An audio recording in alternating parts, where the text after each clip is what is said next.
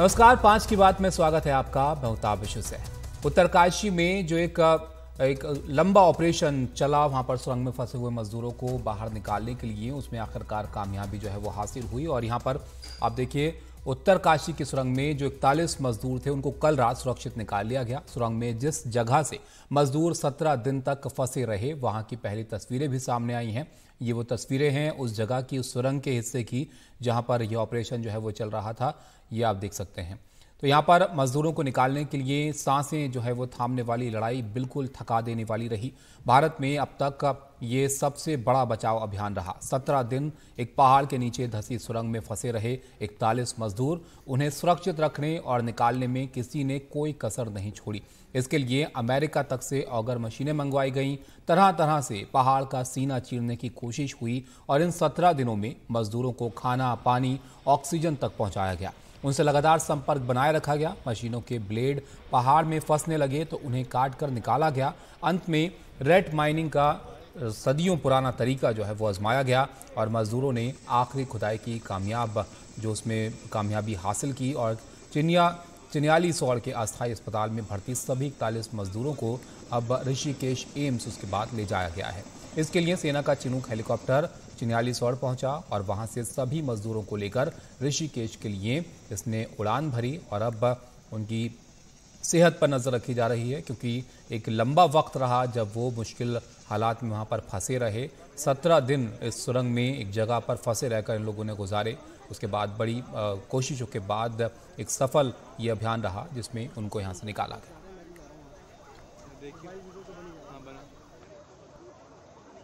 अभी सभी लोगों को चिकित्सा के मॉनिटर पर रखा गया था कि उनका उनकी एक 24 घंटे का जो डॉक्टरों के द्वारा परामर्श है उसी में देखा है मैंने सबसे मिलाया सबके हालचाल लिए सभी लोग स्वस्थ हैं सभी प्रसन्न हैं उनके पारिवारिक जन भी सभी प्रसन्न हैं और सभी सभी का धन्यवाद कर रहे हैं। राज्य सरकार का भी हमारे प्रधानमंत्री जी का भी कि उन्होंने विशेष चिंता करते हुए, एक माता पिता की तरह जैसे माता पिता अपने बच्चे की चिंता करते हैं, उस प्रकार की उन्होंने चिंता की है, जो हमारे मजदूर भाई टनल के अंदर थे। तो जो सबसे अच्छे प्रयास दुनिया के हो सकते हैं, वो इस रेस्क्यू अभियान में हुए हैं।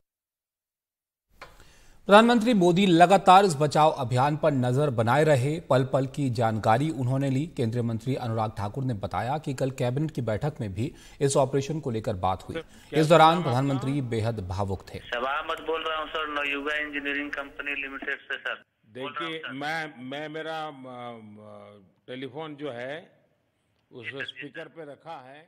देखिए एक बात तो मैं ज़रूर कहूँगा। आपने ठीक कहा, कैबिनेट में उसका विषय भी आया, प्रधानमंत्री जी बहुत भावुक भी थे। और एक होल ऑफ़ गवर्नमेंट या पूरा देश जैसे एक तरह से आप सबकी दुआएँ भी साथ में थी। और हर तरह के प्रयास एक एक जान बचाने के लिए किया गया। प्रधानमंत्री जी चुनाव प्रचार के दौरान भी, दिन में कम से कम दो बार स्थिति को वहाँ के मुख्यमंत्री से जानकारी तो लेते थे, अपने पीएमओ के अधिकारी भी वहाँ पर थे। केंद्र सरकार के डिपार्टमेंट्स के अधिकारी थे। दुनिया भर से जहाँ से जो भी सहायता ली जा सकती थी, वो भी थी। आपको जानकारी देने के लिए दिन में दो बार प्रेस ब्रीफिंग, एक बार यहाँ से, एक बार उत्तराखंड से भी की जाती थी। लेकिन एक बात तो ज़रूर है, एक टीम स्पिरिट क्या होती है? नेतृत्व क्षमता क्या होती है? हमारे श्रमिक भाइयों ने वो भी दिखाया है। तो देखिए, कितना मुश्किल ये ऑपरेशन रहा, ये आप सबने देखा सत्रह दिन तक लगातार कोशिशें यहाँ पर की गई। सुरंग में फंसे मजदूरों को बाहर निकालने में अहम भूमिका निभाने वालों में से एक आईएएस अधिकारी नीरज खेरवाल भी हैं। उन्हें बचाव अभियान का नोडल अधिकारी नियुक्त किया गया था और खेरवाल पल पल का अपडेट यहाँ पर पीएमओ और सीएमओ को यहाँ से दे रहे थे। केरवाल उत्तराखंड सरकार में सचिव भी हैं और इस वक्त वो हमारे साथ जुड़ गए हैं। सीधा उनके पास चलते हैं, उनसे बात करते हैं इस ऑपरेशन के बारे में। बहुत शुक्रिया आपका नीरज हमारे साथ जुड़ने के लिए और वक्त निकालने के लिए। तो सबसे पहले तो आप इस ऑपरेशन के बारे में बताइए, जब इसकी शुरुआत हुई, कितना मुश्किल ये रहा, ये दिन, सत्रह दिन जो वहाँ पर गुजरे, हम देख रहे थे अलग अलग तरह से कोशिशें जो है वो करनी पड़ी, क्या चुनौतियाँ यहाँ पर रही इस दौरान? पब्लिक जी, जैसे आप लोगों ने कंटिन्यूसली वहाँ मॉनिटरिंग किया है मीडिया के भी लोग थे, चुनौती अगर हम देखें तो दिन प्रतिदिन अलग तरह की आई। जो चैलेंजेस थे day by day different challenges were there initially जब स्टार्ट हुआ ऑपरेशन जो स्टार्ट किए गए, उस समय इसका जायजा नहीं लग पा रहा था स्टार्टिंग में कि इतना डिफ़िकल्ट होगा, लग रहा था बड़ी आसानी से कंप्लीट हो जाएगा। बट जैसे आपने देखा कि बाद में सभी तरह के एक्सपर्ट्स आए, सभी इंटरनेशनल एक्सपर्ट्स भी आए ओगर मशीन बुलाई गई ओगर मशीन लिफ्ट करके लाई गई। सबसे बड़ी चीज़ तो इसमें चैलेंजेस को ओवरकम करने में ये थी कि सभी जो एक नेशनल लेवल की एजेंसीज थी इवन इंटरनेशनल के एक्सपर्ट थे, वो बहुत ही जल्दी जहाँ पर अगर देखें तो पहुँच गए थे मौके पर।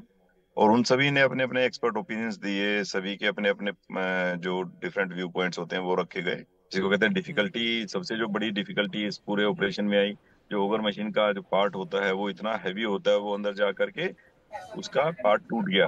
वो आगे से फंस गया और पीछे से पार्ट टूट गया तो उसको निकालने के अंदर दो से तीन दिन लग गए। इसी के साथ में जो अल्टरनेट ऑप्शन थी उन सबको एक्सप्लोर किया गया उनका काम भी स्टार्ट किया गया। सभी रिसोर्स मोबिलाइजेशन हो चुके थे।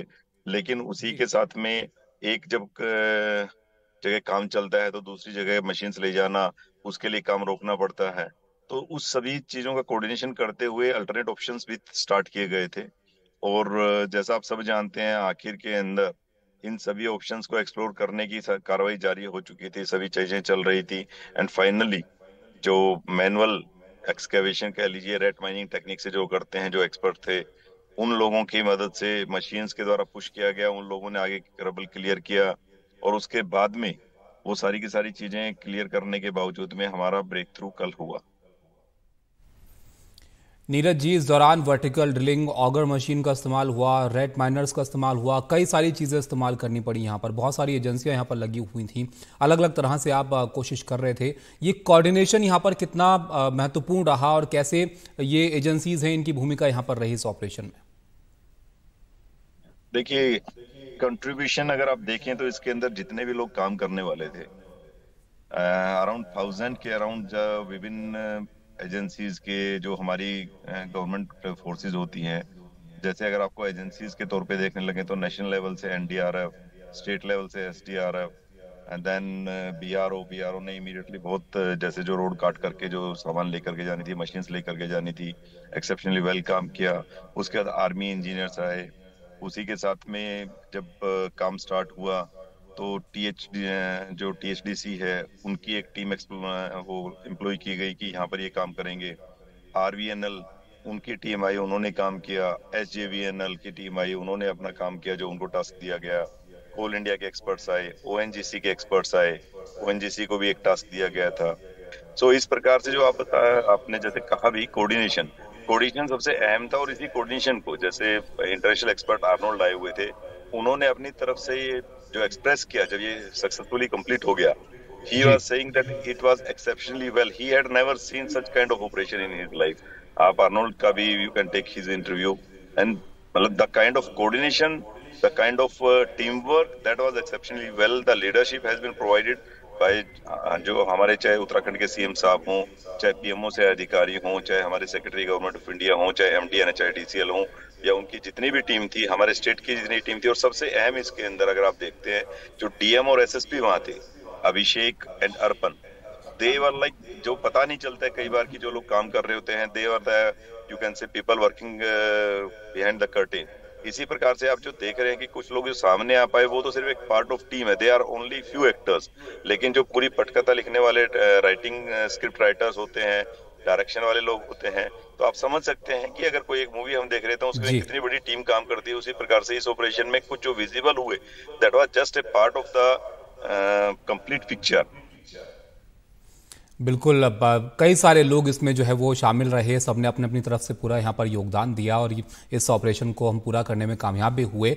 लेकिन नीरज जी तो हम बाहर से देख रहे थे, जो कोशिशें हो रही थी, अंदर जो लोग फंसे हुए थे, क्योंकि कई बार ऐसा लगा कि ये ऑपरेशन पूरा होने वाला है, लेकिन फिर भी दिक्कतें आ रही थी।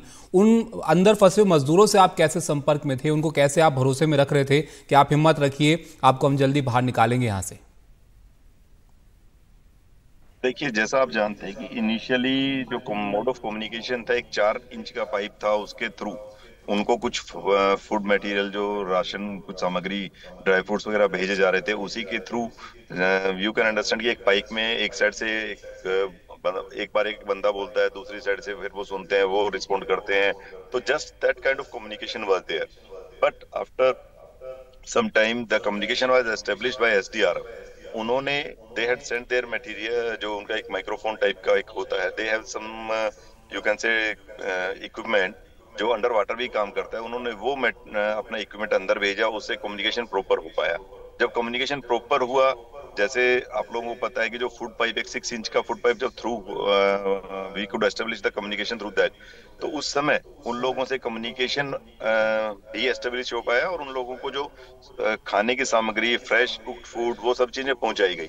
तो जब उन लोगों से बात हुई, जब क्लियर कट बात होना शुरू हुई तो इनिशियली डेफिनेटली जैसा आप जानते हैं, क्योंकि जब फ़ूड मटेरियल खाली इनिशियली जो ड्राई फ्रूट्स जा रहे थे ओनली लिमिटेड फ़ूड मटेरियल जा रहे थे तो उन लोगों की कॉन्स्टिपेशन इस प्रकार की दिक्कतें भी थी। जब पूरा एस्टेब्लिश सब कुछ हो गया तो जब फ्रेशली कुक फ़ूड जाने लगा, उन सभी की हेल्थ फिर से they could get into better health and medicine were sent कुछ एक दो लोगों को बुखार था कुछ लोगों की आँखों में प्रॉब्लम थी तो उन्होंने बताया जब कम्युनिकेशन एस्टेब्लिश हो गया कि हमारे यहाँ पर इस प्रकार की दिक्कत हो रही है।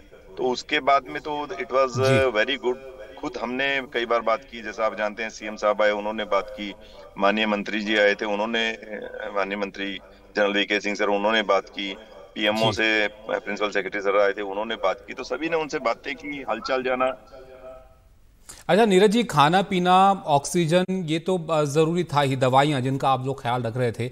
लेकिन इसके अलावा बाकी ज़रूरतों पर भी आप जो है वो पूरी तरह से ध्यान रख रहे थे। हमने सुना कि नेल कटर भी मंगवाया गया तो वो भी आप लोगों ने भिजवाया अंदर। हाँ जी हाँ जी, जैसे उनको जिस चीज़ की भी डिमांड होती थी, like nail cutter is one item basic essentials भी पहुँचाए गए, उनको जैसे brush toothpaste under garments small towel जो भी उसमें से जा सकता था। You can understand there was six inch pipe six inch pipe के डाया के अंदर जो चीज़ें भी जा सकती थी क्योंकि वो भी एक ज़रूरी था कि कोई चीज़ें अटके ना तो वो सारी चीज़ें प्रोवाइड करवाई गई। वो सारी चीज़ें जो भी फिजिबल थी वो उनको भेजी गई। नीरज जी बहुत आखिर में ये और, मैं आपसे जानना चाहूँगा क्योंकि हम इस ऑपरेशन को देख रहे थे कई वक्त कई बार ऐसा लगा कि बस अब ये पूरा ही होने वाला है और अब हम कामयाब इसमें होने वाले हैं लेकिन अलग अलग तरह की दिक्कतें आ रही थी हम सब लोग देख रहे थे वहाँ पर। उस वक्त वहाँ पर क्या चल रहा था? वो जो आखिरी क्षण थे जब ये तय हुआ कि चलिए अब हम हो गए हैं कामयाब और अब उनको निकालने वाले हैं बाहर। आपकी मीडिया मीडिया की टीम्स भी लगातार they were they are interacting with us we are interacting with them we are telling you can say कि डेली बेसिस पे वी आर गिविंग अपडेट्स ऐसा कई बार हुआ, जैसा आप जानते हैं, बाईस तेईस तारीख से कि दैट वाज ए होप लेकिन एक मर्फीज लो होता है कि व्हेन थिंग्स गो रॉन्ग तो देर आर चांसेस कि 99 परसेंट सक्सेस हो जाएगी वन परसेंट किसी चीज़ को प्रॉब्लम आने के चांसेस हैं। तो even that happen two three times कि जो नहीं लग रहा था कि very less probability of that thing was there that happen so there were hurdles like that लेकिन जो सबसे बड़ी बात है कि टीम्स ने सारे हर्डल्स ओवरकम किए और कभी उसका पूरी टीम का मोरल डाउन नहीं हुआ, सभी के हौसले बुलंद थे। That was the best part and जो अंदर लोग थे, उन्होंने भी अपने हौसले बुलंद किए। तो उन्होंने कहा कि साहब, हमें कोई दिक्कत नहीं है, आपको चार पाँच दिन लग रहे हैं चार पाँच दिन लिए।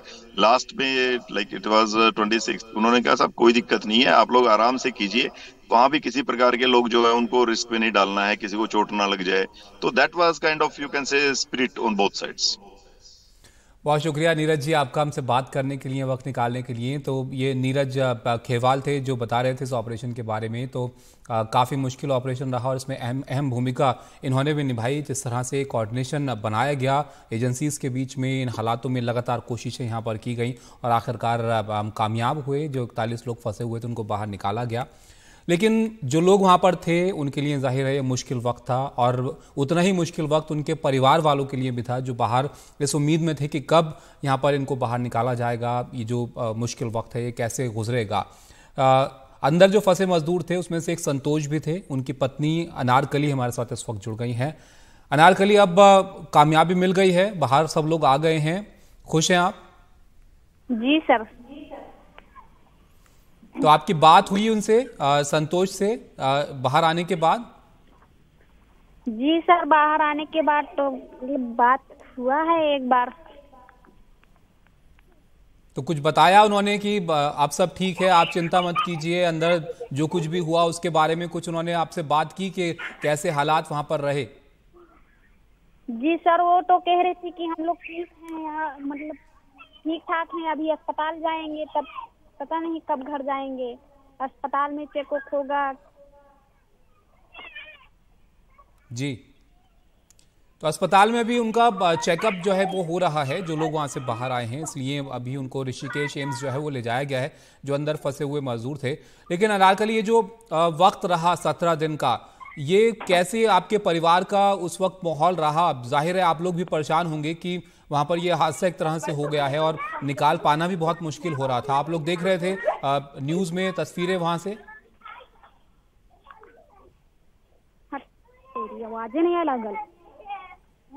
आप अगर सुन पा रहे मेरी आवाज़ को आप सुन पा रहे हैं?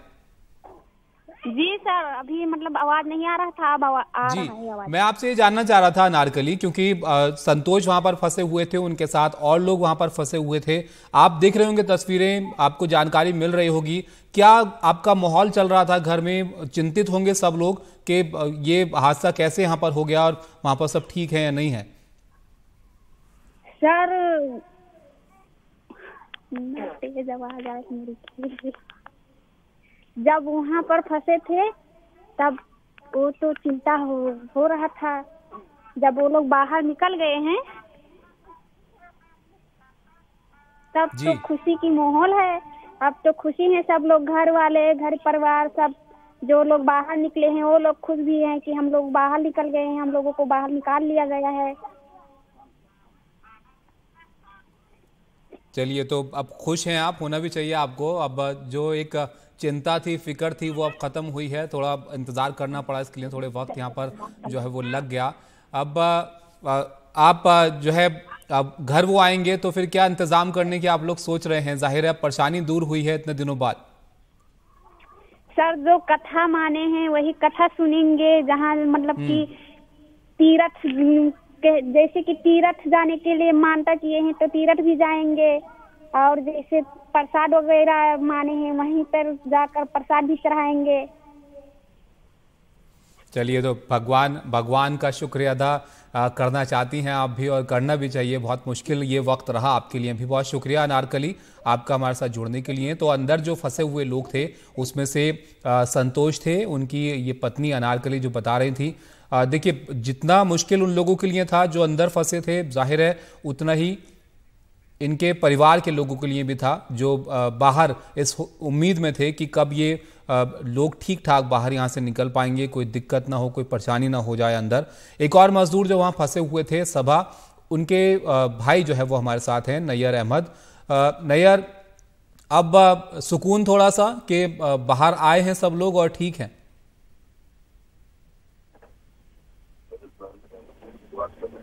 हेलो। जी नैयर अगर आप सुन पा रहे हैं हम देख रहे थे ऑपरेशन जब हो रहा था तो जो परिजन थे जो रिश्तेदार थे वो बाहर बहुत परेशान थे बहुत चिंता में थे ज़ाहिर होना भी चाहिए इतने दिन से फंसे हुए थे सब लोग। अब बाहर आए हैं आपके भाई तो आपकी उनसे बात हुई है थोड़ा सुकून से हैं कि चलिए अब ठीक ठाक बाहर वो आ गए हैं।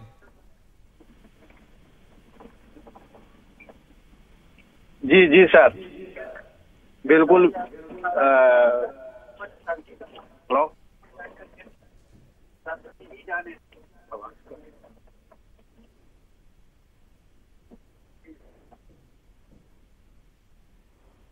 तो नैयर, आप अगर मुझे सुन पा रहे हैं ठीक से, आपकी बात हुई है उनसे, सभा से, जब वो बाहर आए, कुछ बताया उन्होंने आपको कि चलिए आप फ़िक्र मत कीजिए, अब सब कुछ ठीक है, कोई दिक्कत नहीं है।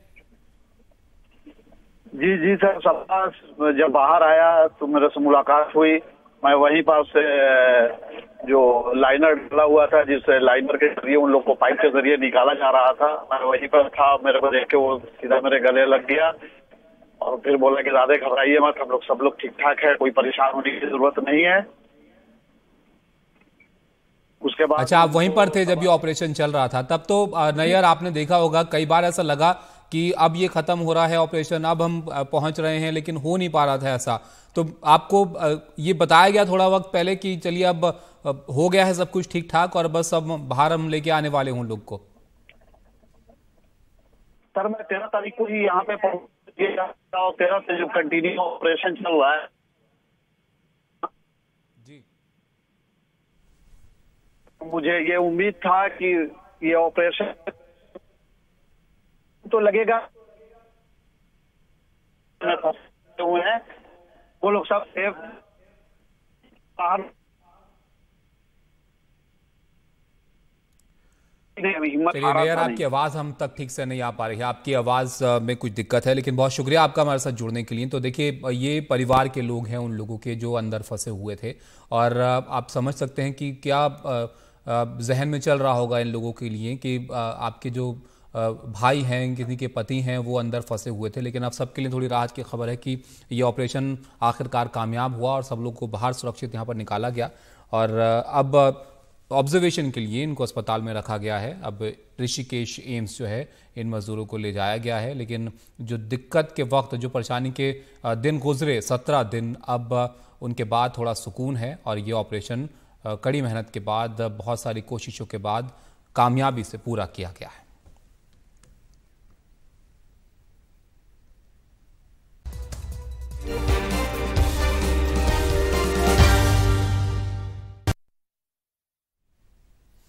उत्तरकाशी की सुरंग में फंसे सभी इकतालीस मजदूरों को कल रात सुरक्षित निकाल लिया गया। हमारे सहयोगी हिमांशु ने tunnel expert doctor Jagdish Telangrao Sahu से बातचीत की।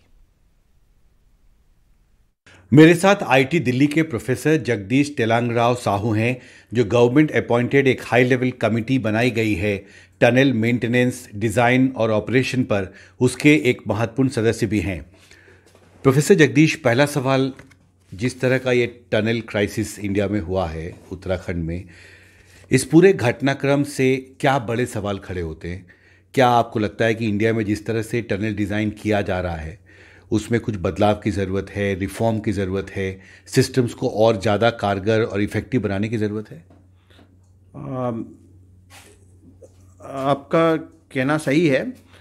हमें साइड इन्वेस्टिगेशन पे और ध्यान देना होगा। ग्राउंड इन्वेस्टिगेशन को और डिटेल करना होगा। थोड़ा समय रहते हमें साइड इन्वेस्टिगेशन चालू करना पड़ेगा ताकि हमारा जो साइड इन्वेस्टिगेशन हो वो काफ़ी काफ़ी इंफॉर्मेटिव हो।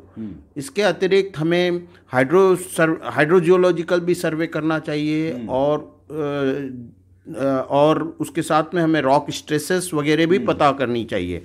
हिमालयन जो टेरेन है ये थोड़ा सा ट्रिचरस है। ये थोड़ा सा अ, अ, थोड़ा सा धोखा भरा है। क्योंकि यहाँ पे जो रॉक स्ट्रक्चर है रॉक टाइप है ये अ, कुछ कुछ ही दूरी पे चेंज होते रहता है। तो एक तो साइड इन्वेस्टिगेशन हमें अच्छा करना चाहिए। दूसरी चीज़ हमें जब भी हम खुदाई करते हैं तो हमें ये ध्यान रखना चाहिए टनल खुदाई के वक्त कि हमें सेफ्टी मेजर्स लेना चाहिए। फॉर एग्जांपल एस्केप टनल हो, साथ में हमें यूम पाइप भी हो सकते हैं अगर छोटी टनल है तो। अभी भारत में करीब सौ टनल्स हैं जो डिफरेंट स्टेजेस ऑफ़ कंस्ट्रक्शन है। किसी का डिज़ाइन बन चुका है किसी में खुदाई शुरू हो चुकी है, किसी में काम कुछ आगे बढ़ चुका है। तो ये जो लेसन्स हैं जिसका आपने ज़िक्र किया अभी आपको लगता है ये महत्वपूर्ण होगा कि एन जिसने ऑडिट करने का फैसला किया है उनतीस टनल्स का जो अभी जिसका कंस्ट्रक्शन चल रहा है। उस दौरान इस तरह के प्रोटोकॉल्स का पालन हो रहा है या नहीं हो रहा है इसकी विस्तार से जाँच आपको लगता है ज़रूरी होगी जिससे कि इस तरह का हादसा जो दूसरे टनल कंस्ट्रक्शन हो रहे हैं वहाँ ना हो? हाँ ये बहुत इंपॉर्टेंट स्टेप लिया है एनएचएआई ने। और मैं उम्मीद करता हूँ इसके बाद में शायद हादसे दोबारा रिपीट ना हो कम से कम इस तरीके के हाथ से। आपने कहा कि एक स्केप टनल का एक कॉन्सेप्ट भी आपने ज़िक्र किया। स्केप टनल क्या होता है? क्या इस केस में था वहाँ पर स्केप टनल इस केस में नहीं था अनफॉर्चुनेटली लेकिन एस्केप टनल मतलब ये होता है कि आप टनल के बगल में एक पैरेलल टनल छोटी सी टनल बनाते हैं ताकि अगर कुछ हादसा हो जाता है जैसे टनल में आग लग जाती है या भूस्खलन हो जाता है टनल के अंदर तो आप आप और ये जो छोटी टनल होती है ये बड़ी टनल से जुड़ी होती है हर सौ सौ डेढ़ सौ मीटर पे होती है तो वहाँ से आप छोट बड़ी टनल से छोटी टनल में आके बाहर निकल सकते हैं।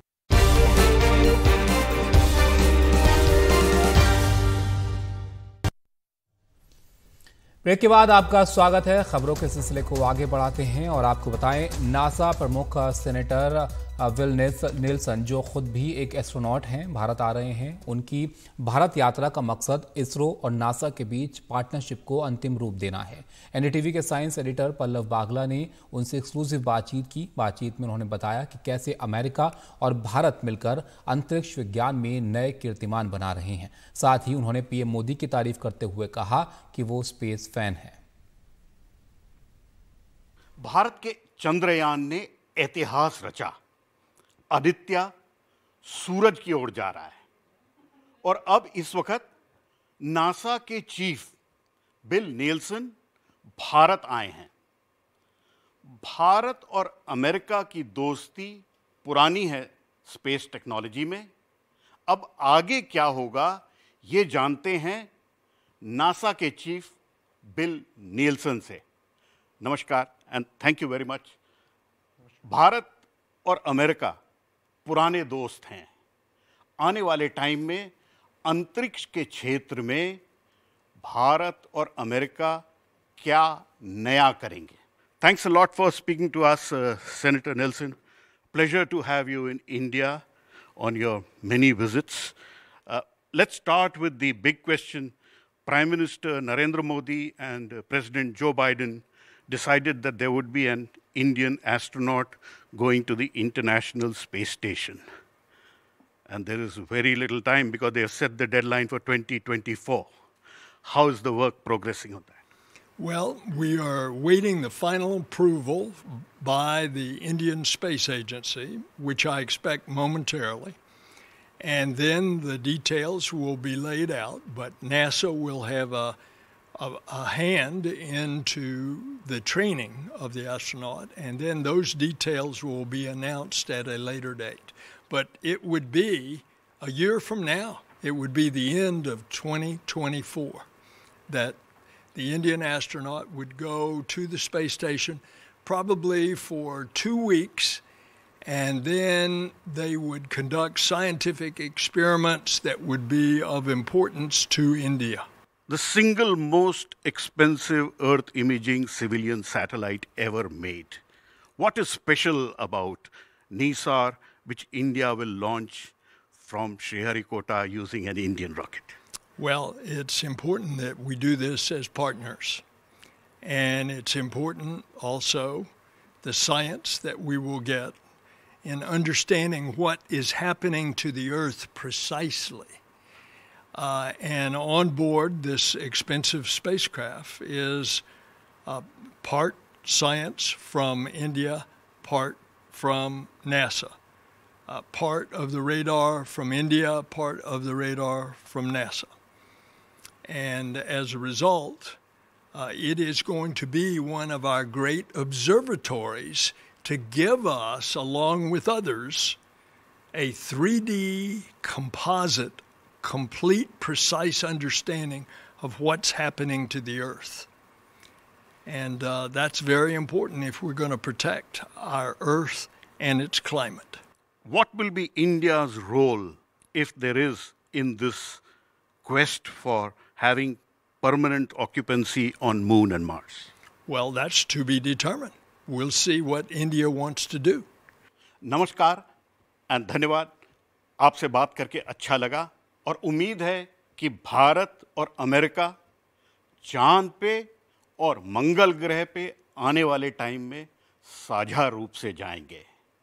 तो ये थी एक बातचीत नासा के चीफ बिल नीलसन के साथ। प्रधानमंत्री नरेंद्र मोदी ने कहा है कि sky is the limit for the relations between India and America in space camera person Azam Siddiqui in New Delhi Pallav Bagla for NDTV India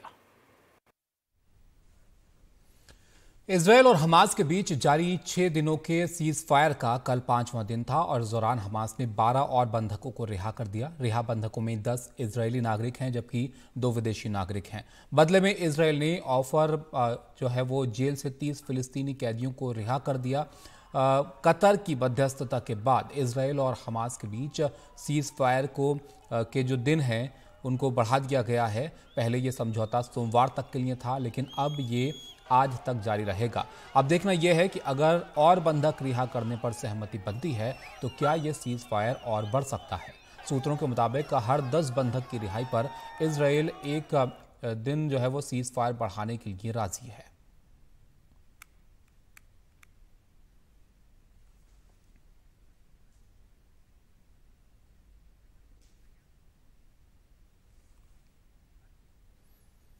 Israel और हमास के बीच युद्ध विराम के बीच फिलिस्तीनी अमेरिकी मॉडल ने एक विवादास्पद पोस्ट पर सोशल मीडिया पर खुद ही जो है वो घिर गई है।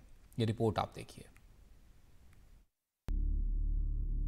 इसराइल पर दिए अपने बयान की वजह से फिलिस्तीनी अमेरिकी मॉडल गिगी हदीद विवादों में हैं। अपने इंस्टाग्राम पोस्ट में उन्होंने इसराइल पर आरोप लगाया कि वह सालों से फिलिस्तीनियों के अपहरण, यंत्रणा, हत्या और बलात्कार में शामिल रहा है।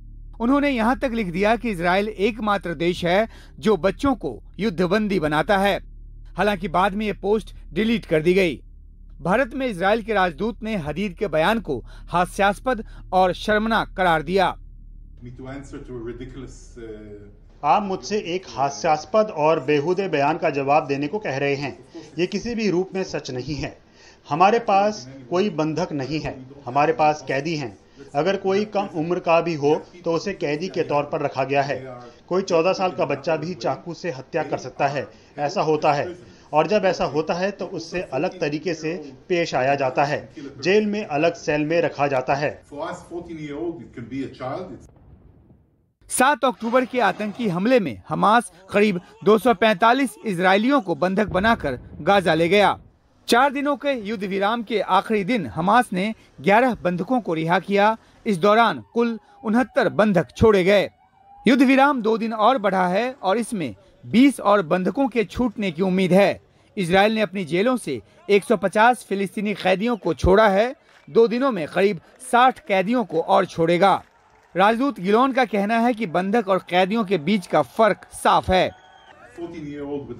कोई चौदह साल का अगर चाकू से हत्या करता है तो वो हत्यारा है, आतंकवादी है। लेकिन हमारे जिन लोगों को इसराइल से बंधक बनाकर ले जाया गया, उनका अपराध बस इतना था कि वो यहूदी हैं।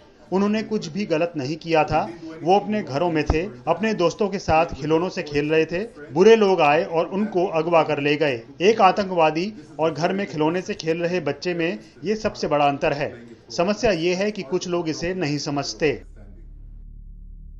हदीद के इंस्टाग्राम पर करीब आठ करोड़ फॉलोवर्स हैं। अपने ऐसे विवादास्पद पोस्ट की वजह से हदीद सोशल मीडिया पर वायरल हैं।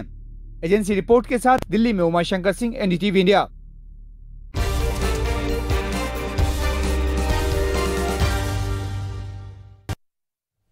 एम्स दिल्ली में जल्द ही खुलेगा centre for excellence for transgender care. इस सेंटर में ट्रांसजेंडर की शारीरिक समस्याओं के अलावा उनकी मानसिक मनोदशा के भी उपचार की गुंजाइश होगी और इस दिशा में आगे बढ़ते हुए दिल्ली एम्स ने world professional association for transgender health से हाथ मिलाया है।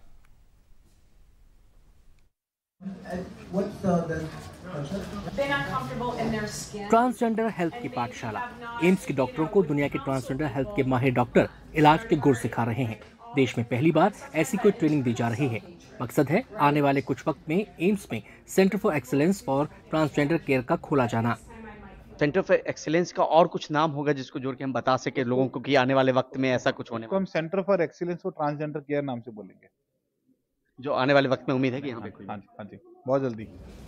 इसमें अलग अलग मंत्रालयों के सहयोग के बाद एम्स ने world professional association for transgender health के साथ हाथ मिलाया है। इसके सात डॉक्टर फ़िलहाल वर्कशॉप को अंजाम दे रहे हैं। साथ ही अगर मेल से फीमेल में तब्दील होना हो तो सर्जरी के गुर भी सिखा रहे हैं। हमने नैतिक ट्रीटमेंट पर बात की हार्मोनल देखभाल पर भी बात की। अब हम सर्जरी वर्कशॉप और सर्जरी के दौरान मरीज़ की देखभाल पर एक सेशन आयोजित करने जा रहे हैं। सरकारी आंकड़ों में भारत में ट्रांसजेंडर की आबादी करीब पाँच लाख की है पर association for transgender health in India के प्रमुख doctor Sanjay Sharma scientific data के आधार पर कहते हैं कि आबादी कहीं बड़ी है जिसको ज़रूरत पड़ने पर उपचार की ज़रूरत है। दो से आठ परसेंट लोग को आ, अपने जेंडर के साथ इशू होता है। यानी कि अगर हम हिंदुस्तान का दो परसेंट मैं कहता हूँ दो परसेंट भी छोड़ दीजिए आप एक परसेंट लीजिए। 140 करोड़ का एक परसेंट कितना हुआ? 1.4 करोड़ लोग इस इशू से जूझ रहे हैं। एम्स में फ़िलहाल डेढ़ सौ डॉक्टर और स्टाफ को ट्रांसजेंडर हेल्थ केयर में ट्रेन किया जा रहा है। अपने आप में एक पहल, स्वस्थ भारत को लेकर, कल को लेकर। नई दिल्ली से परिमल कुमार, एनडीटीवी इंडिया के लिए।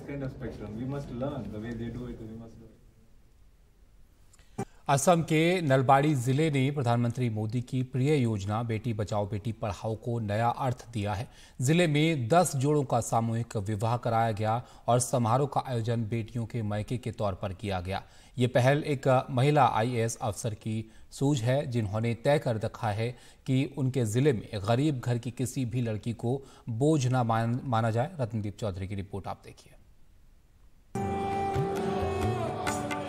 गुवाहाटी से 70 किलोमीटर दूर नलबाड़ी शहर के मशहूर हरि मंदिर में शादी की धूमधाम है। एक नहीं, दस जोड़े शादी के बंधन में बंधे हैं, लेकिन ये आम असमिया शादी नहीं है। ये बेटी बचाओ, बेटी पढ़ाओ के तहत नलबाड़ी जिला प्रशासन का शुभ परिणय कार्यक्रम है। जहाँ जिला प्रशासन ने दूल्हों के परिजनों का स्वागत, बहू का मायका बनकर किया। हम ये संदेश दे रहे हैं कि ज़िले की हर लड़की प्रशासन की बेटी है। सांसद, विधायक और हम सबकी रक्षा करेंगे। सबका ख्याल रखेंगे। उनकी जरूरतों का ध्यान रखेंगे। और ये शादियाँ सब पारंपरिक, असमिया तरीके से हुई हैं। पारंपरिक, असमिया शैली में हुई इन शादियों में वर वधु के बीच खेले जाने वाले खेल भी खेले गए और परिवारों के अपने अपने रीति रिवाजों पर अमल भी हुआ। निचले असम के हज़ारों लोग इस अनूठे वैवाहिक आयोजन के गवाह रहे वर वधु खुश थे। हमारे पास पैसे नहीं थे इसीलिए शादी में दिक्कत थी। लेकिन इस पहल से मदद मिली और हम खुश हैं कि इतने सारे लोग आशीर्वाद देने के लिए थे। जिला प्रशासन की एक अपील पर बहुत सारे लोगों ने आकर आशीष दी और वर वधु के खर्चे उठाए। बहुत सारे लोग ऐसे हैं हमारा डिस्ट्रिक्ट में जो अपना इकोनॉमिक कंडीशन के लिए ये शादी नहीं कर सकता है। तो वो लोग हमको अप्लाई किया और हम लोग डिस्ट्रिक्ट एडमिनिस्ट्रेशन का तरफ़ से और हमारा हरि मंदिर का सहयोग से यहाँ एक शादी का व्यवस्था किया हूँ। किसी ने कन्यादान किया है, किसी ने मिठाई दिया है, किसी ने दही दिया है, सबने आके अपना शादी समझ के, अपना फैमिली का शादी समझ के यहाँ सहाय सहयोग किया है। इसके अलावा जिला प्रशासन हरित विभाग को आगे बढ़ा रहा है और ये पूरा कार्यक्रम प्लास्टिक फ्री था। नलबाड़ी से अतुल राभा के साथ संजय चक्रवर्ती, एनडीटीवी इंडिया के लिए।